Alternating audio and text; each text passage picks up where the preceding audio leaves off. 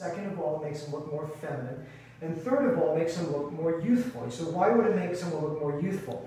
If you think about someone with a, a, a, a getting, you know, we get older, we get heavier, we get saggier. So there's an upside down triangle. So the triangle starts to look like this. I want to invert it where it looks like this. Okay, so I want to reduce the size. Now, when you look at this, there is a fullness here, okay, and there's a fullness here. She grinds her teeth. There's certain reasons she's enumerated. We don't have to say that live. Why? That's the case, not me. But we look at the fullness here, look at fullness here. So the trick here is if we break down the fullness, we have to divide how can we narrow this face in a way that looks reasonable. So if we narrow the outer face, which is where the masseter, you can see the mark points of the masseter here. The problem with that is the jowl can actually look bigger. And if I narrow the jowl, this could look bigger, so we need to balance and reduce it. Now, I oftentimes just reduce the jowl, and oftentimes I just reduce the jaw. But in this case, she really benefits from having both reduced. Well, how do we do this? So we're going to do this through Kybella. Kybella is a chemical dissolution or dissolving of the fat. So the benefit of the Kybella is it really shrinks down this fat permanently. The mistake is that a lot of people use Kybella, K-Y-B-E-L-L-A, for the neck. It's an absolute mistake. The neck does not work, and it can, in fact can make things worse. As doing a lot of facelifts, I can tell you the fat is not the issue, and the fat that is the issue oftentimes is below the muscle, and the Kybella completely misses it. So what Kybella in the neck will do, besides creating a lot of swelling, is create um, more visible banding, which is bad. So we're going to start with the Kybella, and I'm going to do this. Now the Kybella you're going to Google, and it's going to say it leads to so much swelling and, and pain. And actually using this lidocaine really makes it pretty painless. We're also going to do some lip enhancement. That's why she's speaking a little funny because there's a down block. So we just put this Kybella in. I'm not going to talk for a moment so I can concentrate on the distribution. And this should barely hurt.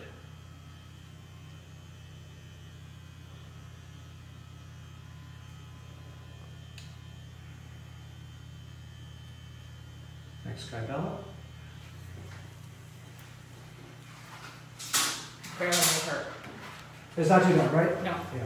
Everything I do is pretty painless. I mean, it's not 100% painless, but it's as close as I can get.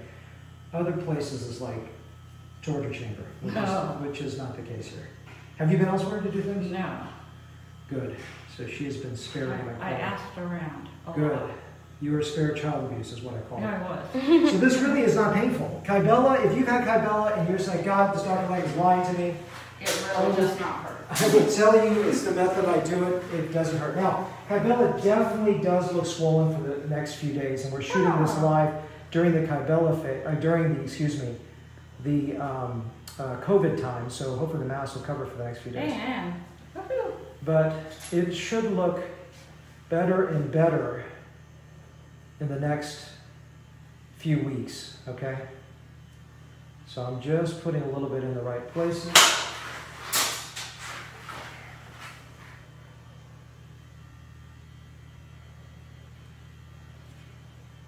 That little shaking is to minimize discomfort, okay? It's not that my hands are, are not steady. It's a little trick. So, we've done that. We're gonna do, now we're gonna do jaw Botox, okay? What that's gonna do is the masseter muscle, and the key is I measured and marked everything before I did the lip block. And the masseter here is actually slightly overlapping this, so this one's farther back. And the masseter of the Botox is really key that you know you have someone that knows what they're doing with injection because you can put it too far anterior, you can have an effect- on the smile. So don't worry, I know how to put positions. so I'm going to put this in here, and it's a little bit overlapping the um, area where I'm I've put in the uh, Kybella, and that's not a big deal because the masseter and the jowl actually overlap on this side.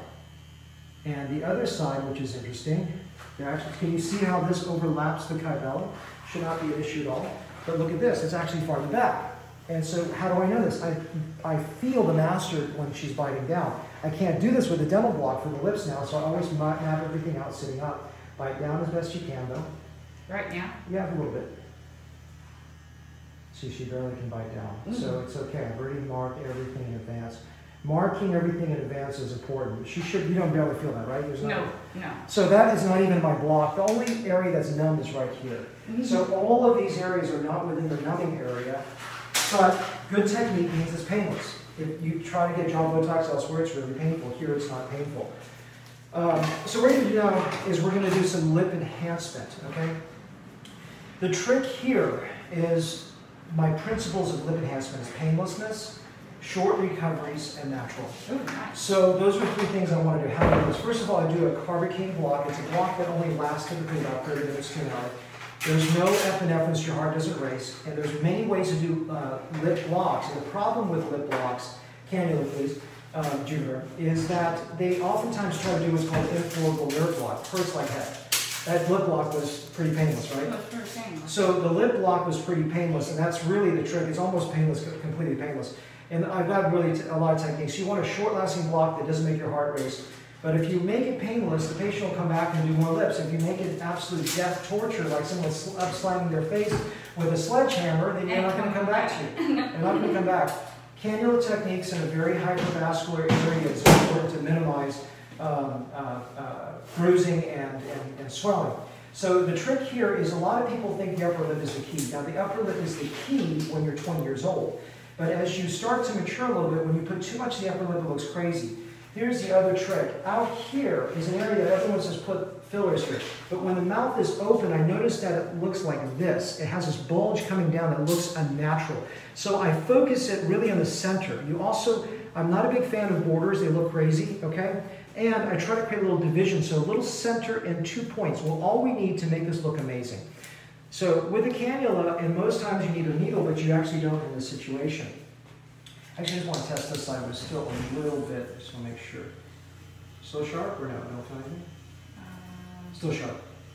not, you get sharp right there. Okay, so she's still a little bit sharp there. This part has all been numb, so for some reason I can't get that block, but it's not a big deal. This is numb. That is numb. This is numb. I can feel that. This is sharp now. Mm-hmm. Okay, this is sharp. No. Okay, so this side is sharp. So what I've got to do is some tricks, all right? So I've got some tricks up my sleeve, vibration here. So she somehow can't block the other side too, too well, but no big deal. Not too bad? No. So what I do is I go from the block zone over. And so that's a little dirty secret of how to get a person that's, I'm very good at my down blocks. I, I can nail almost every single person, but in rare cases, I just have a hard time on one side. So I do a little secret. I go from the side that's blocked to the side that's not blocked and slowly pass it across. And then she should, I feel nothing. yeah, that's good. So for all those ladies out there who are getting killed and tortured by lip injections, you shouldn't be. This should be pretty painless, which is And I saw the needle. and I feel nothing. good. So this looks very sexy, okay? But it doesn't look stupid, all right? There's a fine line between sexy and stupid. Every day I see someone walking here with stupid, okay? And it just requires good taste. My God, please have taste, all right? I'm just begging you. If you don't have taste, don't come and see me. Uh, you can go down the street to tasteless.com. It looks gross. Just vomitusnightmare.com. I don't want to do that. Okay, we're going to put some in here.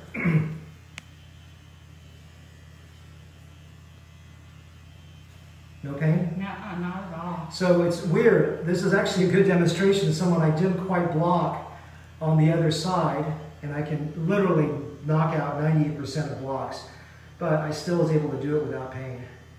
So I'm going to slide across, leave a little cleft in the middle. No pain here, right? Nothing at all. So painlessness is the most important thing besides naturalness. A lot of people say, well, I'll suffer for some lips, but you know what? Why? if you can go to, you know, the number one reason people don't come back to the doctor? Pain. I have seen people walk out like, Yeah. and this, I, I feel nothing. Google how bad Kybella hurts. It doesn't hurt. I feel nothing. Okay? Mm-hmm. So this already looks darn pretty. You don't have to go crazy, okay? Lips are not about size, it's about shape. I can teach you one thing, you don't need crazy size lips, all right? I know we live in Dallas, and most of my patients I want to throw up when I see their lips done poorly.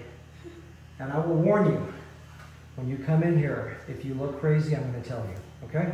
I can't hold my tongue. It's Mhm. craziness drives me most insane. So this looks great. I'm going to put a little bit more on the top. But really, the art of this is not too much. Really, not too much. Just a little bit at the bottom.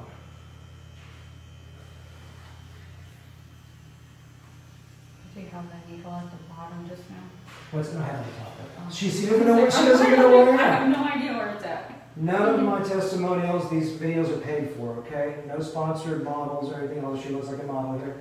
So this is this is all you need, okay? Please, I beg you, if you go to someone tasteless and painful, just don't even do your lips, all right? It's so nasty. So I've got a little product left on a third of the syringe. I'm going to go and just put a little bit of uh, fillers around the mouth. So I, I'm going to do something interesting here. The trick with folds, okay, is people overdo folds, way overdone. The trick is a colleague of mine in Los Angeles noted that the canine starts to recede as we get older. When you fill the canine, except for one person who has overly, a parentheses line, which she does not have, that needs filler here. Otherwise, if you just put a little bit up here, it actually goes such a long way to look better. So let me see if you guys can see it. Sometimes you lose dimensionality when you're on here. But a cannula is so much safer here too. This cannula is blunt, 25 gauge. What it does, you don't feel any pain, right? Nothing. So the cannula up here, there's a labial artery that is risky when you're using a needle this high up. And guess what? I don't use a needle this high up. So this is painless and looks scary. This long thing looks absolutely scary, but it's not sharp. Look, I'm stabbing myself. Ouch. No, I'm not hurting myself. Okay? But I don't know if you see straight. Look straight on. Can you see that this side looks younger than this side? Can you see that? Okay, that's you know how little I put in? That was an, a tenth of a cc, tenth of a milliliter.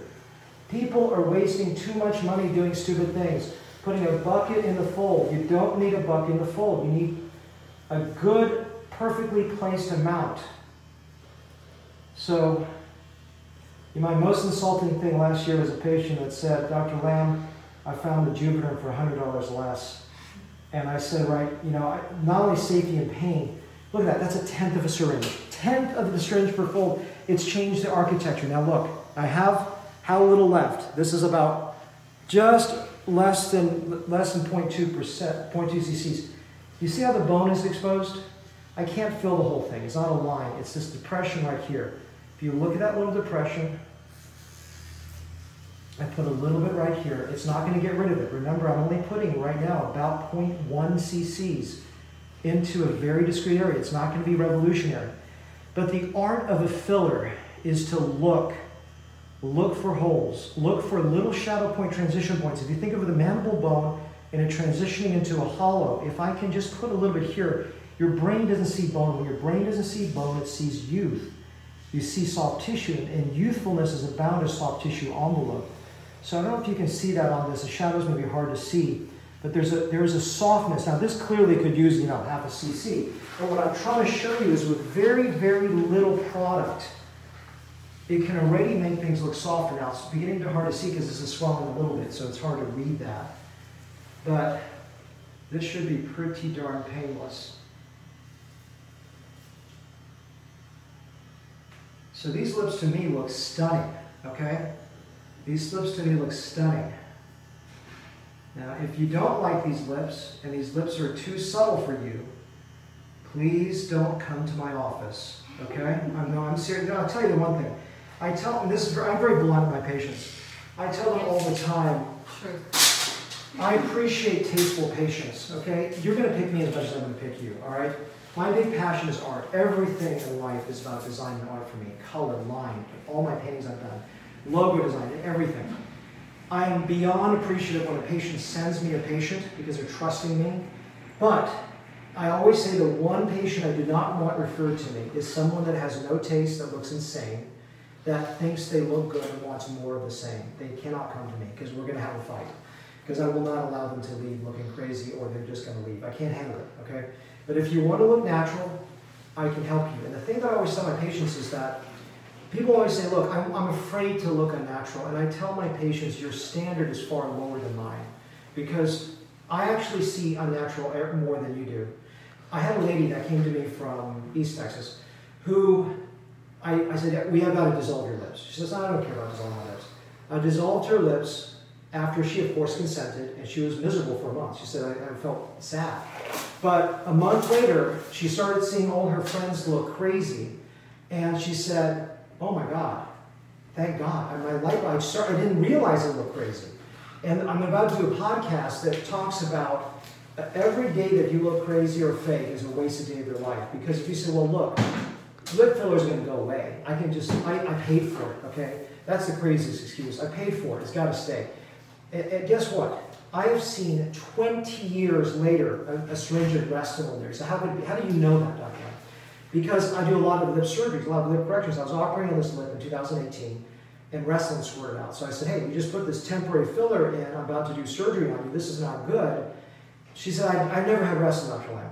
I said, look, I know what silicone looks like, I know what fat looks like, I know what Aquamid looks like, I know what Vortex looks like. You have Restylane. You have Restylane or Juvederm or some hyaluronic acid. She said, no, I haven't. I don't have that, Dr. Lam.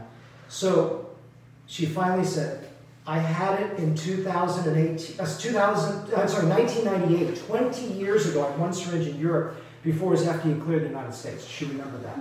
So that is still there. I had a lady that had a bump in her lip, and she said, Dr. Lynn, what is this? I said, have you ever had fillers in her? She said, yeah, yeah, yeah. I think once I had I had a Restylane um, in my lips seven years ago. It's not this, it can't be there. So I, I said, it is. I did it down a block, dissolved it. It was gone in three hours. Had a guy come from Chicago, weird looking bumps under his eyes, and he went to five doctors. They all said, look, it can't be Juvederm because it was five years ago, one syringe. I dissolved it three hours later, it was gone. So if you have fake looking parts of your face, let me just get rid of it. It's better to start with a clean slate and move forward. I really want to help you look your best, and the first and foremost thing is looking natural. So painlessness, you saw this was, I mean, she's not getting paid to say this, not painful, right? No, I felt I mean, barely anything. paid. I, no, I don't even, not getting a discount even. so. No discount, sorry, she has to charge more for this, I'm just joking. No, no, no, this girl, this. No, she's, yes, she's not getting discounted, and she's, you know, none of my stuff is discounted, none of my stuff is, uh, is paid testimonials, they're all genuine, they're nice enough patients to do this. But, uh, but painlessness is key, naturalness is key, and minimizing recovery, and good design. So these are things that are very advanced. Kybella for jaw lines, most people don't even get that. I do it all the time. Botox for jaw reduction, no one gets that. They're doing it for wrinkles, which I do as well. I do fillers under the eyes, very few people do that. I do that with a cannula. And then lips, natural, no crazy borders, and painlessness. So hopefully this little video gets you to understand a little about my philosophy and technique.